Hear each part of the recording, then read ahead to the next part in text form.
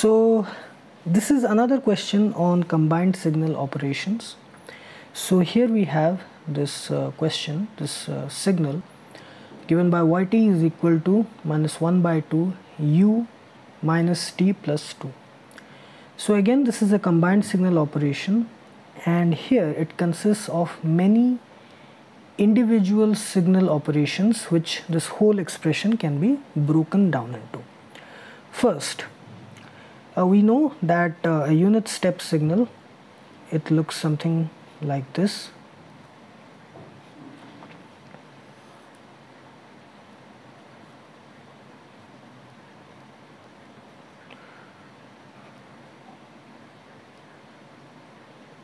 okay this is the unit step signal so here the signal operations which are involved here first unit step signal has to be converted into the time shifted signal. This this is time shifting. Then the time shifted signal has to be time reversed or time inversion. This. Then we have to subject it to amplitude scaling scaling down. This.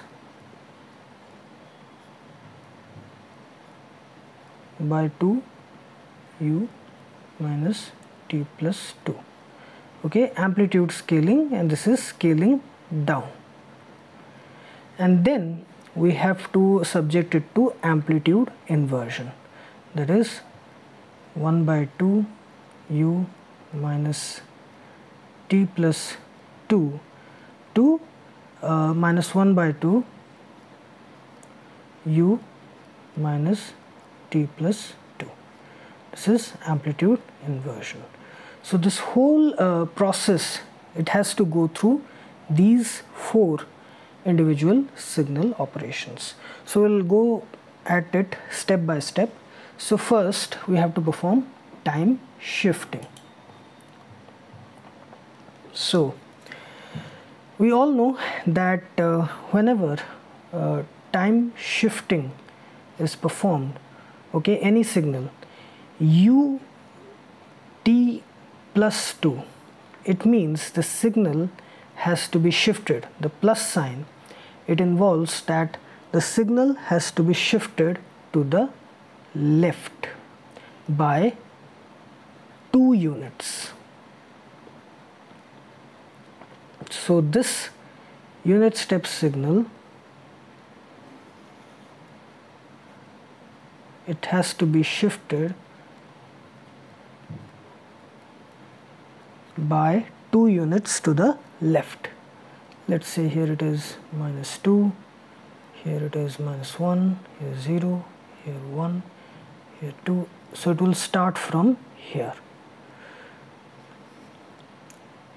This this is the time shifted signal.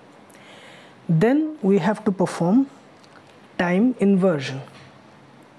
Okay time inversion.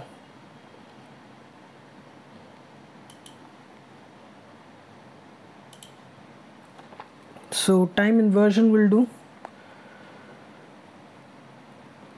So what we have to do is to form a mirror image of this time shifted signal around the time axis. So suppose we place a mirror along this y-axis the mirror image which will obtain that is the time reverse signal or time inverted signal. So it will look something like this. So again like this. Here it is 1 here it is 2 this is 0 this is minus 1 this is minus 2 this is u minus t plus 2 so it will start from here like this and like this. Amplitude of 1 okay 1 so see this is the mirror image of it. So time inversion done. Now this uh, amplitude scaling.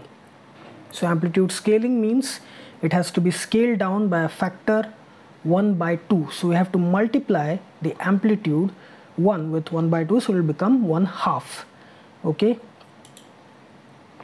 So amplitude scaling. Scaling down so it will become like this. Nothing will change on the time axis. Only the amplitude will change. So this is 0 this is 1 this is 2 this is minus 1 this is minus 2 so this will become like this.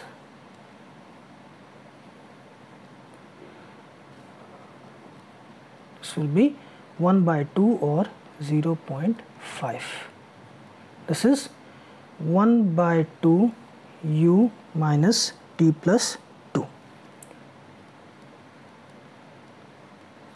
then we have to do what amplitude inversion minus 1 by 2 u minus t plus 2 okay?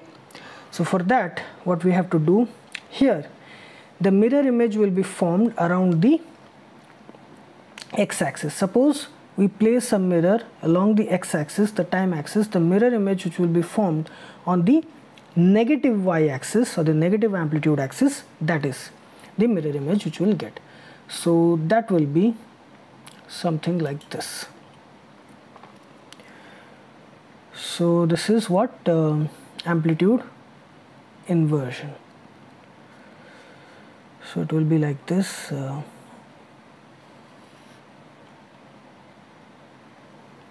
sorry this is a little bit wayward but it will be okay. 1 this is 2 this is minus 1 this is minus 2 and here it will be negative amplitude. That is uh, minus 0.5 so it will be like this.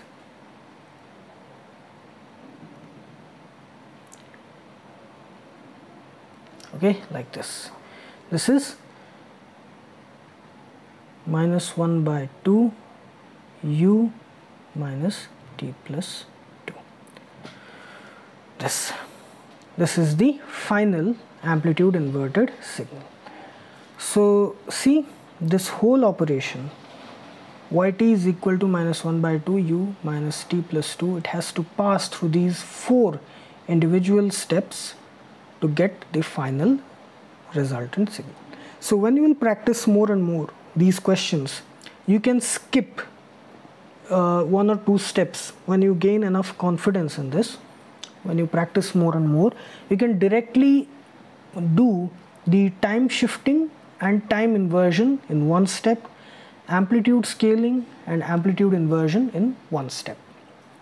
So it will be two steps. So if you are a beginner, you are getting started with signals and systems, I would recommend you to please go through the individual steps first and then as you practice more and more questions, you can skip you can uh, do one or two steps at a time because at that time your uh, your mind will get acquainted with these things okay? You can do one or two steps in one one step okay? You can convert one or two or even three steps in one step. You can do that.